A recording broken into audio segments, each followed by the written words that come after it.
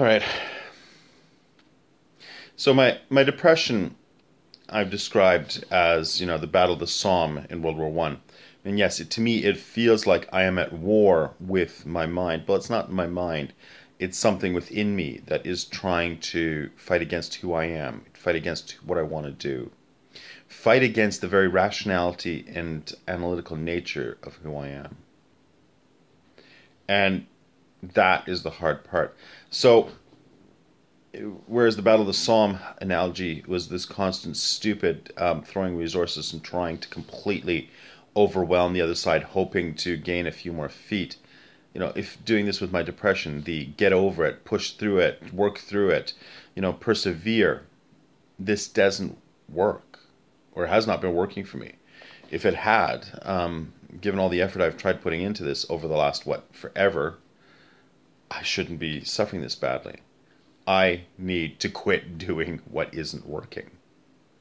And so for me, what it means is um, for the first time in 28 years, I am on my own completely. I have no pets. I have no kids that are going to be living with me. I have no wife, girlfriend, anything like that. I am on my own. And it means for the next year, until my youngest son Max comes back from Costa Rica, I literally can choose to do what I want, where I want, and why I want to. I, I, I don't need to answer anybody else. And what I'm going to try and do is I am radically going to reduce everything in my life. I am going to get rid of all the stuff in my life that I can easily replace um, at some future point and only keep the things that have truly a strong sentimental value. Pictures, um, you know, there's one coffee table. Um, there's you know um, various books and things that, but it's actually not a lot. I'm realizing all the rest of it, it's not high, very high quality stuff that I have. It's not like I spent a fortune on any of this. I can replace quite easily. So the idea is to reduce it down, store the stuff that I do want to have again in the future, reduce myself down to maybe a suitcase and a backpack and little else.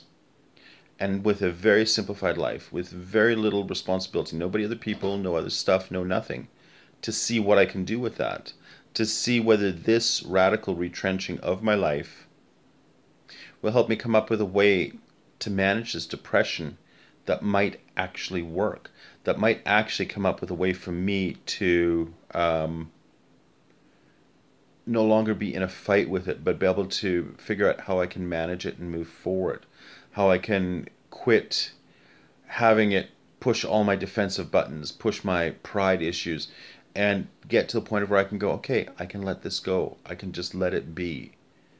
And I think that's going to work. And part of the point of these videos is to hold myself personally accountable to what I'm trying to do to see if it will work. Um, and that's, I don't know. I it, right now it's an experiment. Um, the worst thing that can happen is it doesn't work particularly well, and I have to go back. I have to rent a place. I have to buy all the stuff back. Well, I do that.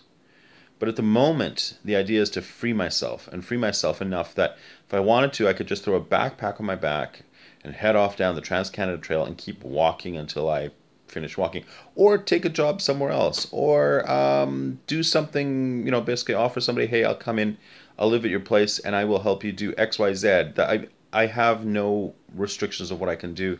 The only ongoing cost I have in my life is um, the phone bill I don't have a lot of stuff. It'll make easy move around, and that is very freeing. The weight off my shoulders just from from realizing I'm going to give up this house, I'm going to give up all this stuff, is actually remarkably great. It's meant that I've had more good days than bad days over the last um, week, and it's only been a week since I decided I was going to do this. Um, it's good. And today, today started off as a bad day, but even doing talking to these videos has certainly improved what the day is like. And I'm going to go take a bath, and then I'm going to head out, and I'm going to see what the day brings me. Um, I do need to come, do need a bunch more um, emptying of the house stuff here, but that that I can do a little bit later. It's no longer a daunting task. I've already gotten rid of enough stuff and removed enough stuff that I am not overwhelmed with the task that needs to be done. So, freeing myself. Will it work? I don't know. We will see. I will talk about it, I will post about it, and I will see myself through the videos whether it is going to do the trick. Thanks. Please feel free to leave comments because I'm I'm figuring this out as I go along. Bye.